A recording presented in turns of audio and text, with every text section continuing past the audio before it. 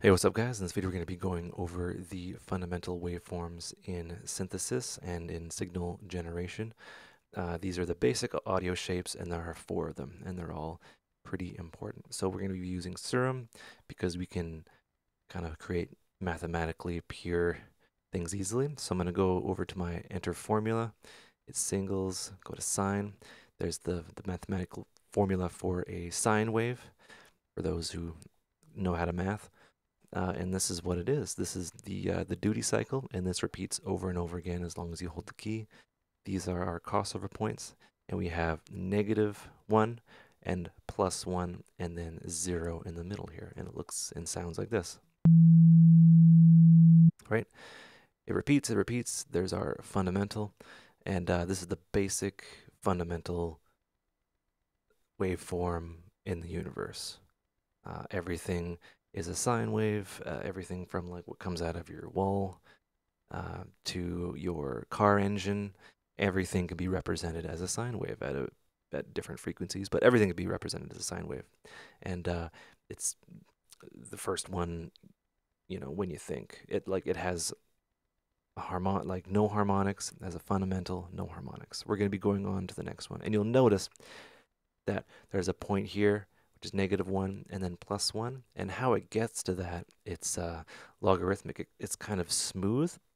Uh, I, I, believe that's thanks to pi, uh, and it's curved, right? So this is the sine wave. We have another one that's kind of similar, that's also important, is a uh, triangle wave, right?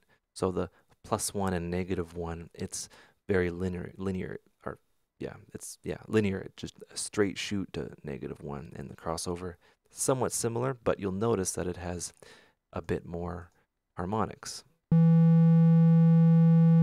Right? There's the duty cycle, looks a little different. You'll notice because it has these non-smooth kind of transitions between, uh, you know, negative 1 and 1 in the amplitude, uh, you'll have these harmonics, and here they are, right? And uh, you can kind of do something which we might go over later is you can create a triangle wave with nothing but sine waves if you plot them out in uh, the corresponding um, harmonic bins up here. Uh, yeah, and triangles are somewhat important. The next one that is exceptionally important is square waves. Um, and this is what it looks like. Oh, let me just do that right? And this is represented as uh, data. So this is a negative 1 and plus 1. Also 0 and 1. So it can be represented in binary because it's either off or on. And this is kind of what happens in data transmission. Data transmission, you can afford to have all this extra data. It can be noisy, it can be like imperfect, but you know, you can stretch that over many thousands of kilometers and it's either a zero or a one. So it's very useful. This is in everything. This is in your uh, internet connection, your, you know, the, the, video that you're watching right now, uh, the audio going from my USB mic through my USB cable. It's all digital and it looks somewhat like this, you know.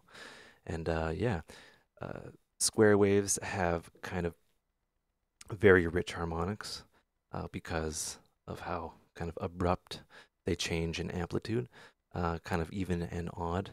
And uh, they're much like the next one we're going to go over are the basis of audio synthesis. And I think that's kind of important to point out. Uh, the next shape, right? So think of this like, yeah, negative one plus one. There's no transition between the two. It's very like it's either you're one or the other. There's no in betweens. Uh, and yeah, there you have it. Uh, the next one is any synth you start up starts with a square wave. No, sorry, a sawtooth wave. Now this look doesn't look like a sawtooth wave because the phase is uh, a little bit different. But if we look at it here, there is our saw and it looks like a sawtooth. It can ramp up or it can ramp down. And uh, they look like the teeth of a saw, and they have very uniform uh, even and odd harmonics. It's a very rich sound, which is why it's a starting point for subtractive synthesis. And from there, you can filter in and out. But uh, yeah, it's all about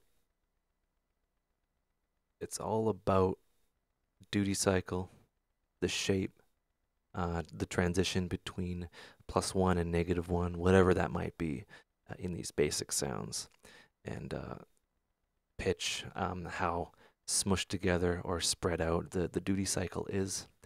And uh, yeah, um, and anything else is uh, is basically a combination of the four, right? And uh, once we get into additive synthesis, which is basically, I'll show you quite briefly.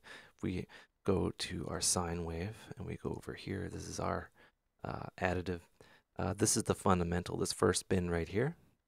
And we can add in more and more sine waves to create, right? Just think of each one of these as a sine wave. It takes, you know, a whole bunch of sine waves to make a saw waves, uh, make a saw wave. And uh, yeah, you can do that. So, you know, if you want to get down to it, a sine wave is like the fundamental thing in everything that we hear. Uh, and yeah, all right. Uh, hope you learn stuff. Uh, take care and have a good one.